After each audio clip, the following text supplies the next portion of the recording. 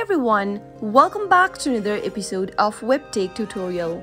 In today's video, I'm going to show you how to lock screen with Siri. Watch the video till the end and don't forget to subscribe to our channel by hitting that subscribe button. Press the notification bell so that you'll never miss another upcoming upload from us. If you want to lock your iPhone's screen with Siri, then you can simply ask her to do that. Make sure that you've activated Siri on your iPhone. In order to do that, open up settings on your iPhone and from the settings menu scroll down and tap on Siri and search. Now, make sure the button right next to listen for Hey Siri is enabled. Once you enable Siri, now you can simply ask for Siri in order to lock your screen on your iPhone. Simply say, Hey Siri, lock my screen and She'll be able to do that for you right away. That is how you can easily lock your iPhone's screen with Siri. I hope the tutorial was helpful to you. If it was, go ahead and give us a thumbs up. I'll be back soon with more videos like this.